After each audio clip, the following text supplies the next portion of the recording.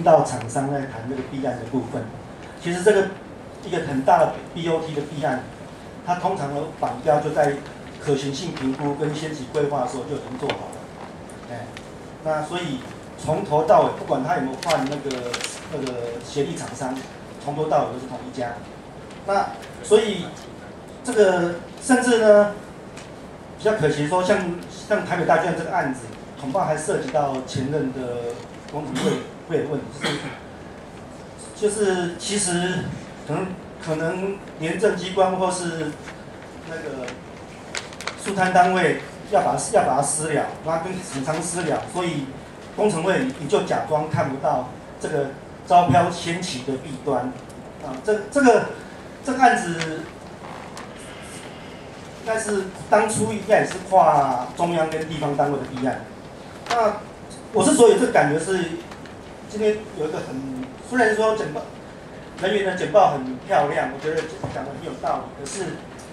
我上网去看我们这个修正草案的那个参采说明的时候，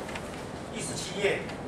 有有四行，这是网络上登录下来是看不到的，就是。这里第十七页的依法办理出赃案件，仍屡受司法与监察机关调查，使机关人员。这个这这个字眼是我们在网络上登录下来看不到，那只有到现场才看看得到。那这这个案子，我想因为刚好李教授也在，所以我觉得李教授对原住民、对一些弊案、对一些台。台湾的国土规划都都有所了解，所以应该应该提醒他知道，是说，呃，有有些案子大到不但不但议员调调不到资料，立委调调不到资料，连监察院去调都调不到资料，那这个案子怎么办？就是这个是政府的自己的弊案，机关的自己的弊案，这个是国家重大建设的重大弊案，那这个将来要怎么解决？那这个问题恐怕。恐怕是未来一个很大的一个呃导火线。我提醒一下，然后最后补充说明一下，就是，呃，我刚刚看到这个包小姐这个促进民间参与公共建设的这个优良案例手册，我看了一下哈，这个九个案子里头至少两三个案子是是不对的。第一个案子是台北一零一案，台北一零案不是个成功的案子，它如果成功，台湾已经已经是亚太金融中心了。所以它其实是个失败的案子，它是其实是个好大喜光，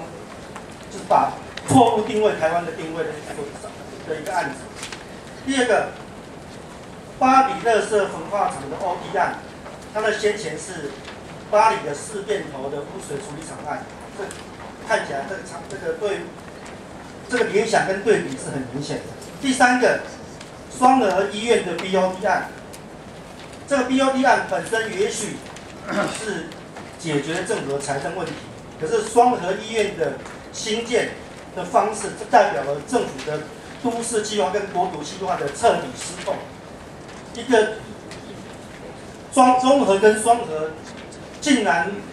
房子盖满到没有地方可以盖医院，而苏登昌把整座山挖掉拿来盖医院，所以这个案子其实也是失败。所以一个 BOD 案的成功。不能只是看在一个财政上的一个事情上面，而是你要看先期的一个上位计划，它一个国土概念有没有？那还有包括讲的很简，好，这这个是这是我一般的想法。最后是说，行政院长吴敦义在谈那个利益全民共享的时候，我请大家将来要特别考考虑到原住民传统领域、原原住民的生存领域，请大家能够尊重。这呃，这个不是我们一般的国土。好，谢谢。好，谢谢啊，这位先生，还是拜托你把那个姓名哈，还有那个